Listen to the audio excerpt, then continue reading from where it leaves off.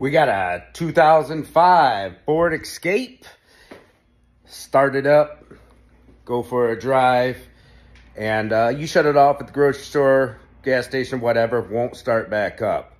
Today we, oh yeah, by the way, it's got a uh, 3.0 liter engine in it. So we're gonna be using the Xtool DS7 right here.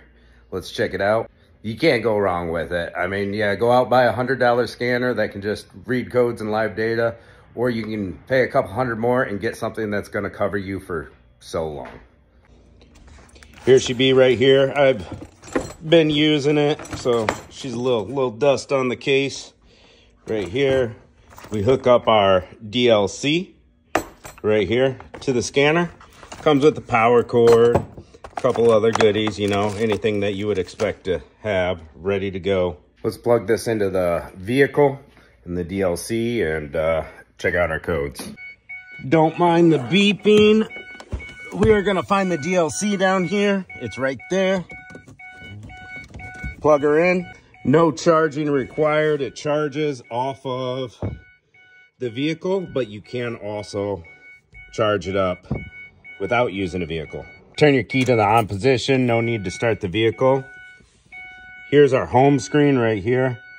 Got some updates to do. This comes with, what, two or three years of free updates. And you can still use it after your subscription is up or you can pay. Like if you're working on brand new vehicles like 2024s. We're a small shop, so we deal with older vehicles. So I only need to update every three or four years. So we're just going to auto scan this vehicle. Automatic scan and it's going to go through all the modules. All we're concerned with right now is the powertrain control module, PCM. That fault code right there, that's what we're looking for. Pretty quick loading. We got to read trouble codes, key on, engine off. On the Fords, you can also do a uh, on on-demand self-test. All right, this shows that codes have been cleared recently. That's the only fault code we have. And after a drive or two, that'll go away. So Let's go to live data and see if we can find something that's off about this. The special functions, actuation tests, like you can turn your fuel pump on and off, your purge valve, stuff like that. Hey, are my fans working? You can turn your fans on, all kinds of stuff. Click on live data, you get a whole spread of everything. Now we go through live data and look for anything that is off. And we can just hang it right here from the steering wheel believe it or not, a coolant temperature sensor being way off will make the car not start. So that's why it starts when the engine is cold.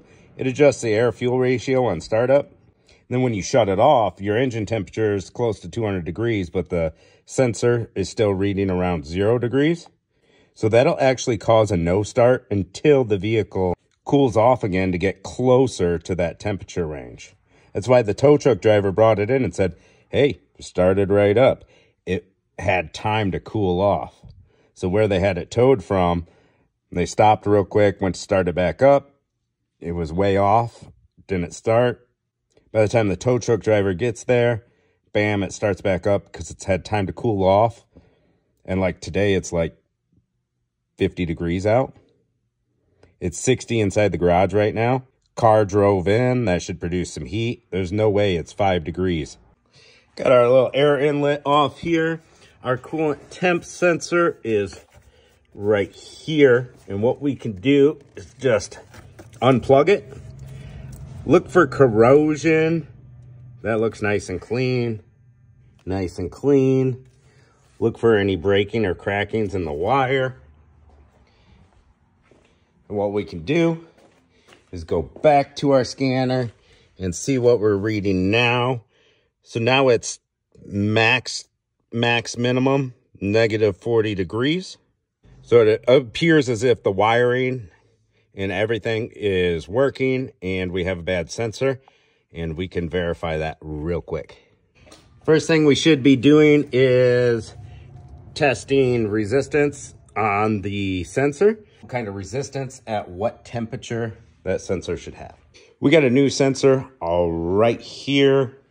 Remember, we are all the way bottomed out at negative 40 degrees. That's the max. Let's go ahead and plug this new sensor in and see what the scanner shows once we plug the new sensor in. it should be a lot closer to what the actual temperature of the vehicle is, the engine. All right, that's plugged in. We'll walk over to the scanner now. And we are at bada boom, dead on. I told you my garage is set to 60 degrees. And look, now we're reading correct. That was definitely a bad coolant sensor.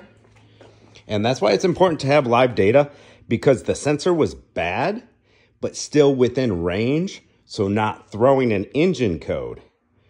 So there's nothing to point you in the right direction. That's why it's so important to have that live data and go through it and see what's looking off. Sometimes with the engine warm, cold, running, sitting. That's diagnosis for you. We could have jumped to, you know, looking for massive vacuum leaks, but based on the customer story, that wouldn't be right. Could be uh, fuel pressure, fuel pressure regulator, something like that went out on them. But the first thing you do is bust out a decent scan tool, check for codes, check for live data, look for anything that's off. You know, anything that's going to cause the vehicle not to start. Something that's, you take a short drive, it's driving fine, you shut it off, you go to start it back up, it just cranks and doesn't start. So first thing is just go to the scanner, get some data, get some codes, and go from there. Pretty easy to change these ECT sensors on these Fords. Now you just grab some pliers and twist it to the left. See, goes left, right. And then we're gonna wiggle it out. We don't want it to break off inside there.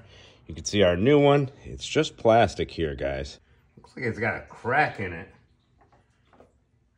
New sensor, it's going in the same way it was, kind of at like uh, 10, 10 30 o'clock. Looks almost like it has straight water in it.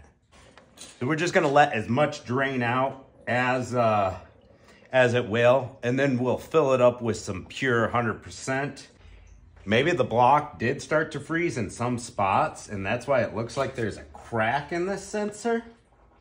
So the first thing to freeze would be these small passageways. It's kind of just an interesting situation. Let's go ahead and put the uh, new one on.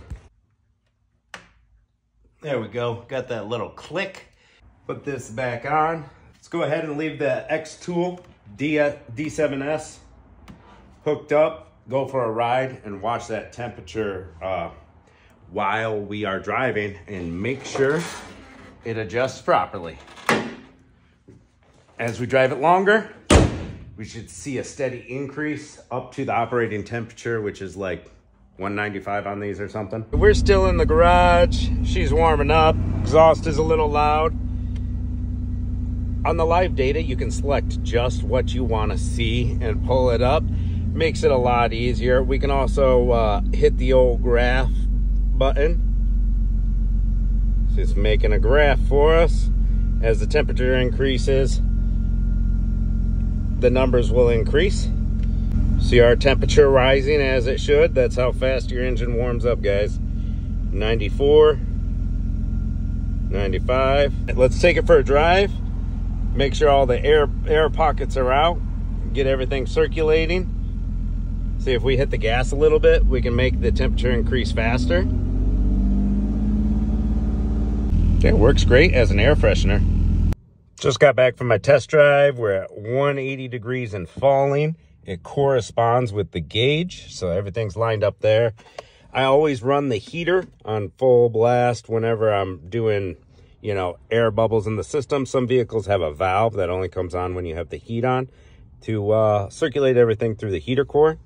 We'll use our X tool to clear codes if there was any codes stored from unplugging and plugging while we were doing diagnosis. We need to wait for this coolant to completely cool off before we open our reservoir, top off the reservoir and check the mixture ratio, make sure it's good for our climate. I just like how fast this one is. Clear trouble codes in case we uh, built any up. Codes have been successfully cleared. And that's a Diag and a repair.